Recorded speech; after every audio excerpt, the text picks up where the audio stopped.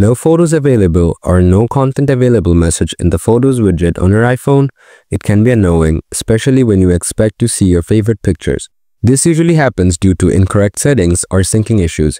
Here is how to fix it step by step. Solution 1. Enable iCloud Photos. Open the Settings app on your iPhone. Tap on your Apple ID at the top. Tap iCloud. Then tap on Photos. Ensure that iCloud Photos is enabled. If it's already enabled, toggle it off and then turn it back on to refresh the sync.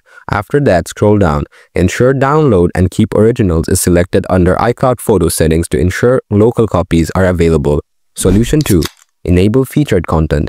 Open the Settings app on your iPhone. Scroll down, tap Apps. Scroll down and tap Photos. Scroll down to the bottom until you see the option called Show Featured Content toggle the switch to on. After that, restart your iPhone.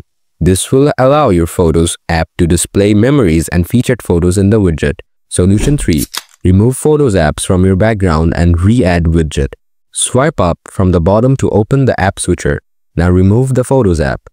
After that, long press on the Photos widget on your home screen.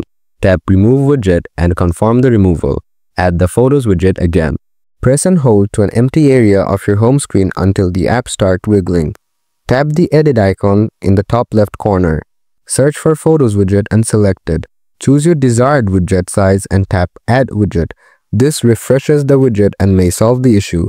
Solution 4. Give Reset All Settings to reset Photo settings. Open Settings. Scroll down. Tap General. Scroll down. Tap Transfer and Reset. Tap Reset. Tap Reset All Settings. Just follow these steps and you should be able to fix the no photos available or no content available message in your photos widget on your iPhone. The issue still isn't resolved. You may need to contact Apple support for further help.